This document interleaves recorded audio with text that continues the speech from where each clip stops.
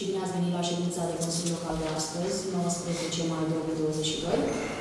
Ați fost convocați în această ședință ordinară lunară pentru dispoziții numărul 93 din 13 mai 2022 a primarului Comunei Palicea.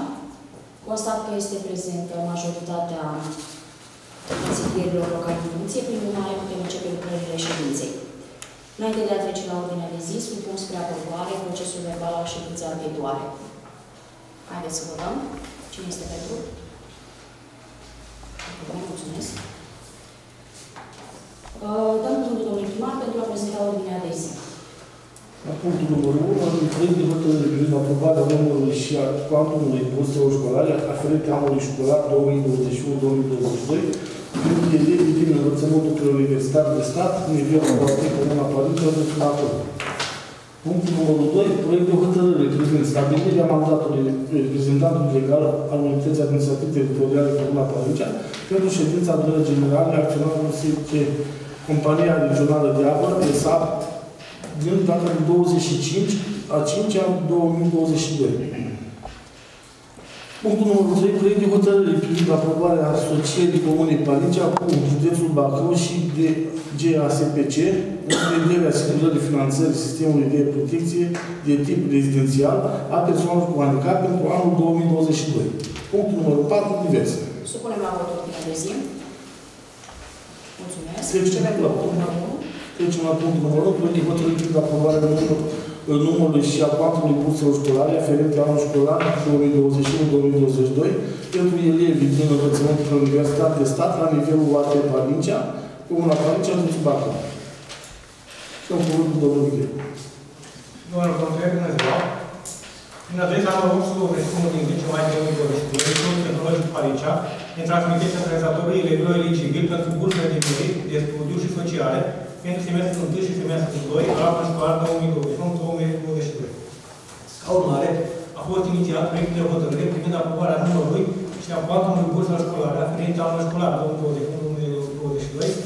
pentru elevii din învățământul preuniversitar de stat, la nivelul UAT, Comuna Parecea. Prin hotărârea Guvernului numărul 1094 din 2021 se aprobă cuantumul minim al uh, burselor de studiu, de performanță, de mere și al de social. Astfel, pentru trimestrul 1 al anului școlar 2021-2022, cuantumul minim al burselor este de 100 de lei pentru fiecare tip de bursă. Pentru trimestrul al doilea este diferențiat și astfel. Pentru bursa de performanță 500 de lei lunar, pentru bursa de mere 200 de lei, pentru bursa de studiu 150 de lei și pentru bursa de ajutor social 200 de lei în an. În proiectul de hotărâre se propune a se aproba pentru trimestrul 1 un număr de 15 burse de ajutor social, 7 burse de studiu și 50 de burse de merit pentru semestrul al doilea. În burse de ajutor social 178, bursă de studiu 61 și bursă de merit 21. Referitor la cuantumul burselor. Pentru semestrul 1 se propune bursă de ajutor social 100 de lei pe lună, bursă de studiu 100 de lei pe lună, iar bursele de merit 105 lei pentru elevii care au media cuprinsă între 8,50 și 9, 110 lei pentru elevii care au media generală între 9,01 și 9,50 și 120 de lei pe lună pentru elevii care au media generală între 9,51 și 10. Adică la același nivel cu anul trecut. Pentru semestrul al doilea se propune 200 de lei pentru bursă de ajutor social, 150 de lei pentru bursă de studii și 200 de lei pentru bursă de mediu. Dacă aveți întrebări pe tema acestui subiect, putem aici. Vă ascult. Este o discrepanță totală între numărul de burse de anul trecut și ăla de anul ăsta. Deci, practic, s-au triplat anul ăsta față de anul trecut. La bursă de ajutor social, sau în care s-a schimbat cu legislația, prin hotărârea numărul 1094 din 6 a 10 a 2021, 6 octombrie, s-au schimbat anumite criterii și se încadrează mai mult la bursă de ajutor social. Ok. Din cauza aceasta, Acolo de venituri. Da. da, din cauza venitului minim Minim garantat. pe persoană, da. Din cauza aceasta se încadrează mult mai mult la ajutor social decât anul anterior. Și eu așa am o întrebare, domnul Contabil. Totuși am, uh, din ce am uh, văzut ieri, acolo pe tabelele alea, sunt medii de olimpici. Nu, nu, Și copiii la noștri? doilea, da. Și Și copiii? copiii la doilea, vârsta de merit se dă numai de la media 950 în fuz. Față de anul trecut, când era de la 850. S-a schimbat și criteriul asta. Da, dar mediile ați văzut acolo joacă 9, 50, 9, Da, adică numai aceștia se 35. gradează la vârsta de merit. Da, vârstă, vârstă de medie, da. Și copiii noștri, mediile sunt mari, dar nu ia nimeni bani. Poate că sunt alte informații, dar eu din ultimul an nu știu Da, cum nu ia nimeni bani. Situația transmisă de către liceu a făcut și... Dar cum le pune pe note? Da. După ce le pune atunci? Acum, acum am văzut și eu, că elevii care sunt la bursă nu sunt în clasă terminală. Sunt de 12 acum, am văzut de 12. Da, sunt de 12 câțiva la bursă socială, la bursă de merit. Sociale. Da, ia să vedem o dată. Deci la sociale, aia. Da. Uh,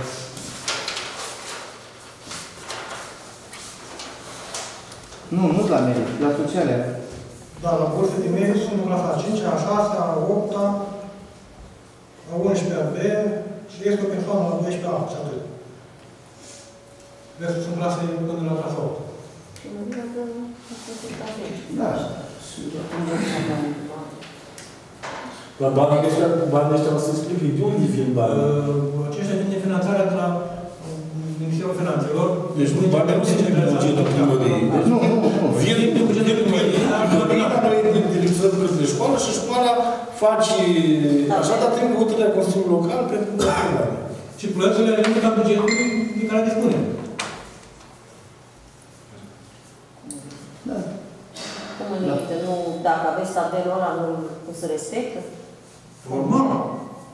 Deci ace- acestea sunt elevi eligibili, logic, pentru ăștia să vă faceți față de plată. Da, și un copil când are 9, 35, 9, 50 și merge la BAC și vine cu 2, unde este? Dar dumneavoastră, dar n-ai observat o chestie, ce a spus domnul contabil, că în clasa 12 este unul singur. Da, e social. da. Nu Da, s-a așa e. nu s-a de merit, e unul singur, da? Ei, fata aia noi considerăm că trebuie să ia bafă. Deci, în Nu, dar fiecare au și, domnul primar, au și restul le-au pus La uh, bursă la sociale, socială, au și aia notele. Și am văzut că sunt notele măcișoare și acolo. De aia, n-am știut. Deci au la socială. Bursa socială Facem parte categorie, bursa de merit e altă categorie. Da, da, da, da. Deci, în funcție de, este în funcție... Eu pus și mie de ei. Este, este, în funcție, este în funcție de venitul părinților. Știu, știu, am înțeles asta. Dar de diferit tot are, are peste 9. Deci are peste 9. Și alea, și alea. La 9... Da, domnule, de nota 9 cel din clasa 12, care intră în bac. Da? Văzut la clasa 12, este o persoană. Este 9. Dar să și da, nu mai am nimic, uh, vreau să fac și eu câteva precizări. Din câte m-am uitat și pe legislație, am înțeles că bursa de merit, deci elevii care se încadrează la medii peste 950, poate fi cumulată cu bursa de ajutor social și probabil e speța asta la care vă referiți, domnul Vasilache. Deci ei, dacă sunt și într-o situație socială dificilă, sunt ajutați și pe partea asta, asta în funcție de veniturile familiei, și doi, dacă este performant în sensul care medii și peste 9,50, primește și bursa de merit. Da, și probabil de aia regăsiți acolo și media copilului respectiv. Nu, doamna secretar, nu are trei la asta. Mare bine că am văzut că e, de- e social. Dar am văzut media mare, 9, 35, și copilul ăla duce la BAC și nu ia 2. Dar poate anul ăsta nu să ia doi la Adică o să urmăresc. Acum noi vorbim pentru anul Asta ăsta. Ne răspunde, Da. da, asta ne poate răspunde, dar că ar trebui întrebările astea puse la școală. Spre exemplu, ca idee, Comisia de Învățământ de Specialitate care o avem noi formată așa, putem să discutăm la școală ca idee să vedem dacă anul trecut, nu, dintre cei care au luat bursă de merit de la clasa 12 au luat și bacalaureatul. Poate nu au fost. Na, ce să zic. O să vedem anul ăsta rezultate. Nu putem pronunța Normal, da, din normal. câte știu, de la clasa 12 sau cel puțin de la liceu, probabil doamna Grecu ne poate da mai multe detalii dacă le deține. Uh, S-a mers și la Olimpiada Națională de Agricultură. Da, sigur. Da, deci, da, probabil de la an la an situațiile mai diferă. Deci, normal, este uh, în ședința când primarul, cu- viceprimarul și consilierul local uh, fac uh, tot ce- deci face raportul de activitate și școala este obligată să prezinte raportul de activitate. Da? Dar la noi au refuzat să vină în ședință. când uh, era, când trăia domnul Spurul Dumnezeu să leve, și poliția venea și evidență, și țineți minte, și uh, prezenta Da. raportul cu Ordinea publică. Ordinea publică. Ei, să ținem cont, când o să fie ședința, să O să chemăm facem în iunie. directorul, da? În iunie să prezinte ce au făcut, ce face, de ce, să, să, să dea raportul. Da. Nu? Așa e, e ceva normal. Și dar nu, nu, dar Deja mă întrebați pe mine de ce, sau următorul de ce copiii sunt așa slabi. Sunt anumite detalii care nu... Eu uh, să știți că și eu sunt foarte supărat pe, pe problema cu școala, pentru că acolo așa uh, sunt câțiva profesori care nu fac nimic, da? Uh, Numai cât au salariu. Au salar, am înțeles că sunt profesori care stau și croșetează în timpul orelor, am înțeles mai multe chestii, da? Nu vreau să mă bag ca să spun că eu fac eu abuz sau ceva, nu. Dar trebuie un pic inițiativă. Acum este un alt director, eu i-am spus să pună la să facă treabă, să vedem ce face. Dacă nu face, să plece. Deci, cât a fost și până acum, numai, deci numai prostii s-au făcut în școală și nu vreau ca să dau uh, detalii mai multe, pentru că nu e de competența mea, dar nu e corect ce-a făcut. Deci nu este corect ce-a făcut. Adică O să vă să și lor performanță. Dacă, o vedem? Să le cere și lor performanță, cât de cât, adică un liceu să nu ia... Nu, dar știți ce se întâmplă? Noi plătim transport pentru Da. da. cadre de didactică. Plătim și uh, m-am întâmpinat acum că am făcut acțiunea asta cu Curățăm România, da? Nu au vrut profesorii să vină. Nu vrut. Nu au vrut să vină, nu? Cum adică?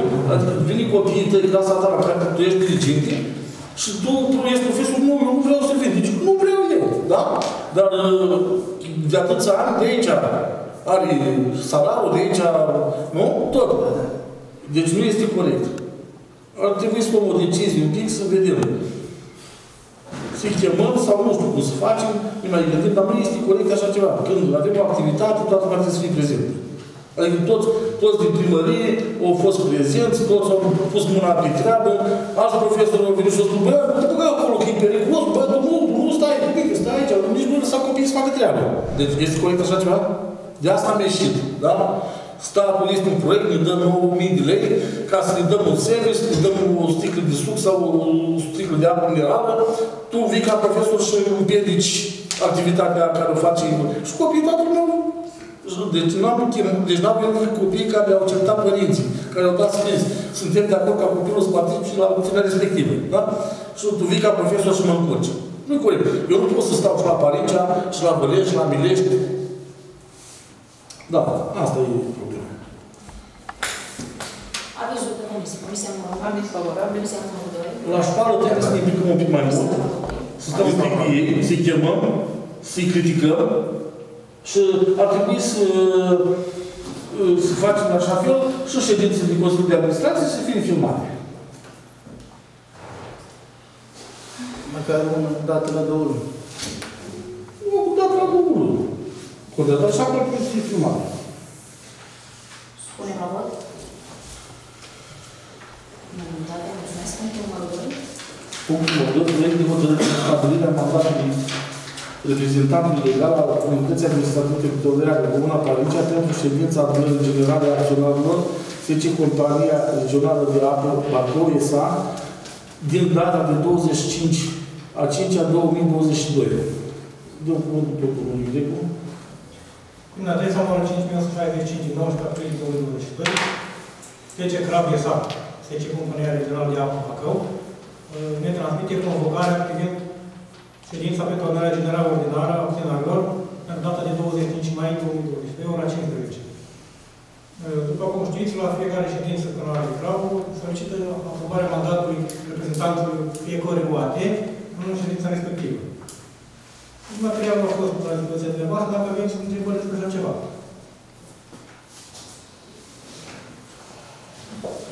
Nu? Nici o întrebare. Comisia numărul 1. Aviz favorabil. Comisia numărul 2. Aviz favorabil. Comisia numărul 3. Aviz favorabil. Supunem la vot. Mulțumesc. Punctul numărul 3. Numărul 3, proiect de hotărâre privind aprobarea asocierii Comuna Parincea cu județul Bacău și DGASPC în vederea asigurării finanțării sistemului de protecție de tip rezidențial al persoanelor cu handicap pentru anul 2022. Da, cuvântul domnului Ghiu.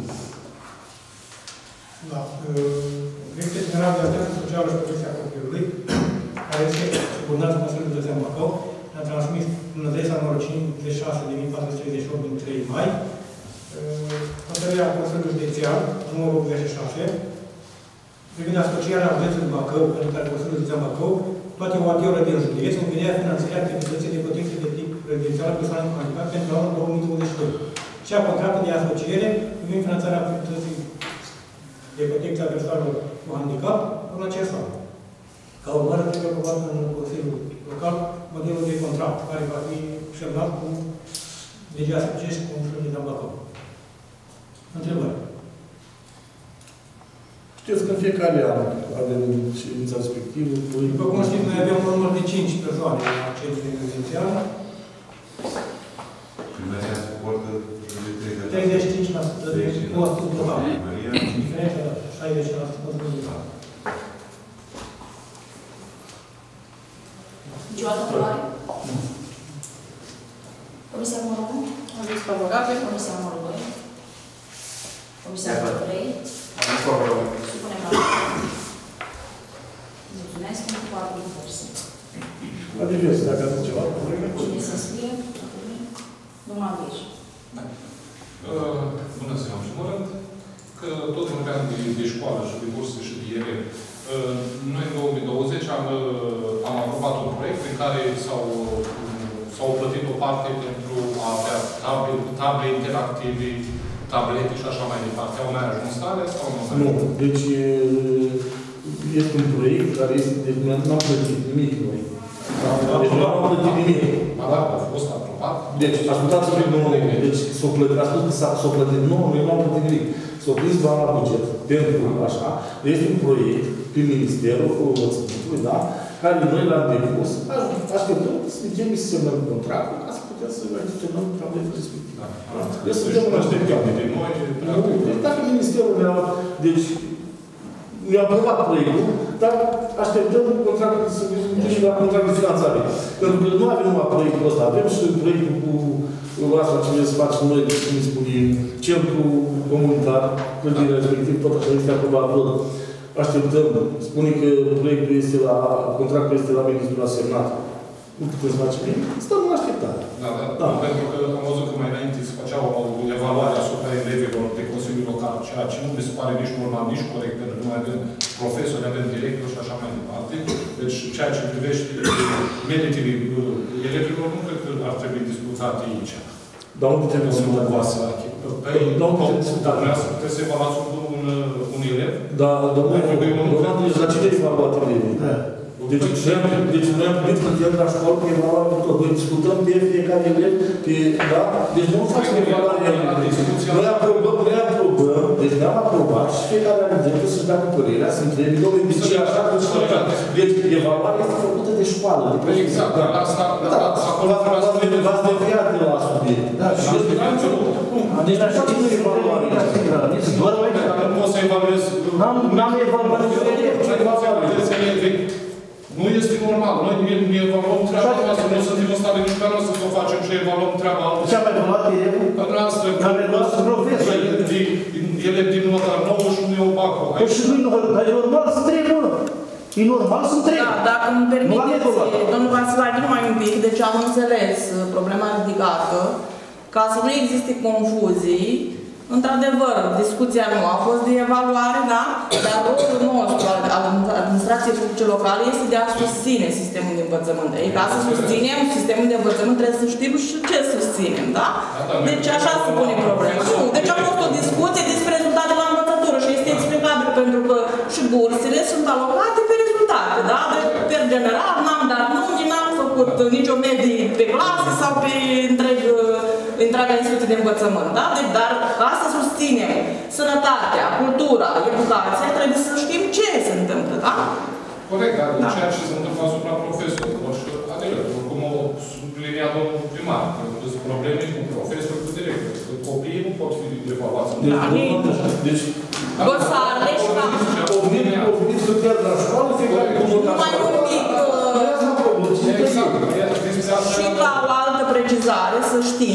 pentru cei care nu știți, sunt de ajuns. Deci dosarele pentru uh, intrarea în plată se întocmesc la școală, da? Deci nu- noi aprobăm doar cuantum, da? Ok. Avem uh, organizația, organizația pentru Bun, deci au fost, primul a fost pandemia, n-am pus bani la buget. De acum ne organizăm în plan. Dacă sunteți de acord. Da, am întrebat, da. Știam că n-am prins. Da. Alte întrebări?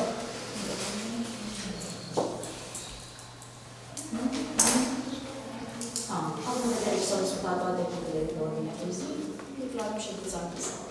Mulțumim pentru prezență.